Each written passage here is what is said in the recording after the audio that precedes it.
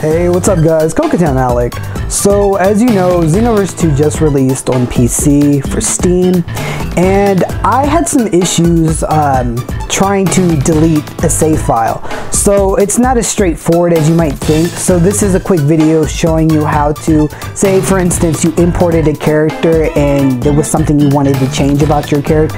When you import your previous character from the first Xenoverse to Xenoverse 2, they basically just take whatever items you had currently equipped and attacks and everything like that. So if you got into the game and you realized you wanted to go back and make a change, you realize deleting your character doesn't quite reset everything. So what you have to do is you have to delete the entire save file. So I'm sure this is much easier to do on PS4, but you know, on uh, PC, it's a little, you have to kind of go through uh, the Steam was it Steam users? I, will show you guys in the, the video. So it's a little bit more work required, but it's done. It's easily done. I'm going to show you guys how to do it. The other thing I want to show you guys, and I might have to give you guys a trigger warning here.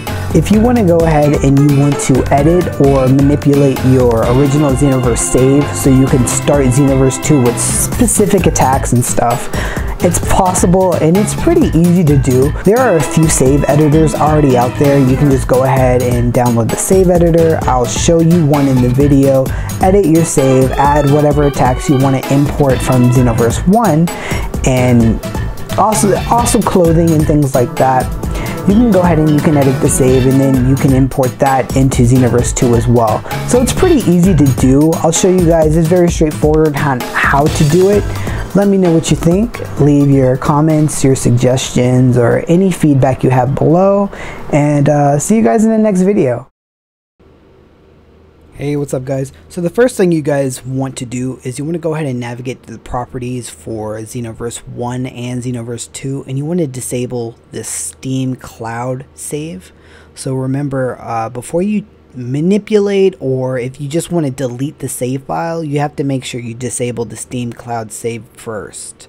So the second thing you want to do is you want to navigate to this directory uh, you're seeing on screen and this is actually where the save file is located. So the Xenoverse 1 save file is dbxv.sav so if you want to edit that file, you know, if you wanted to go back and add, give yourself some new stuff, um, this is the file you want to edit. But if you just want to delete your Xenoverse 2 file, so uh, save file so you can start over, you're just going to click on the dbxv2 folder and delete the file and you're good to go. And in fact, if you don't want to do anything as far as modding uh, your save file, then you're done with this video.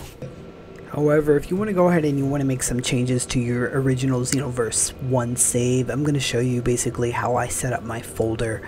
So I actually just added a new folder and I put the save editor and my original saves for both Xenoverse 1 and 2 in this uh, additional folder and I just went ahead and I clicked on the editor. Uh, so this is only for the first Xenoverse. So then what you're going to do is just go ahead and open your original DBX, uh, DBXV.save for the first Xenoverse.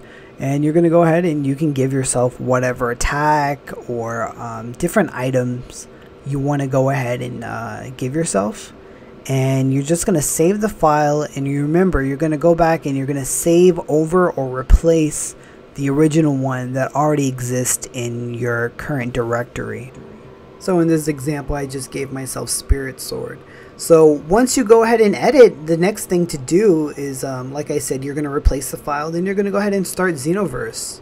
And um, I started Xenoverse to make sure I had the, the right attacks and stuff. So I'm going to go ahead and show you that right now. And if you guys have been paying attention, I made a mistake here. Uh, there is no step two. So typically what, uh, or what I had wrote for step two was making sure that you have this cloud save turned off. So we already did that. Um, if you didn't, make sure you double check that. Um, once you finish everything, you can go ahead and enable the cloud save. And one thing it's going to ask you is uh, the save that you have um, locally is different than the one that's in the cloud. So make sure that you upload locally or upload the local one and replace the cloud save. So you should be seeing a little demonstration of that right now as well. So more or less, that's pretty much the end of this video, but if you're interested in seeing exactly what I did, I'm going to go ahead and actually show you. So we're going to hop into Xenoverse 1, and then we're going to hop into Xenoverse 2. So you'll go ahead and see the, the modifications and the stuff that I was able to receive, and how it transitions over to Dragon Ball Xenoverse 2. So, uh, hope you find it entertaining.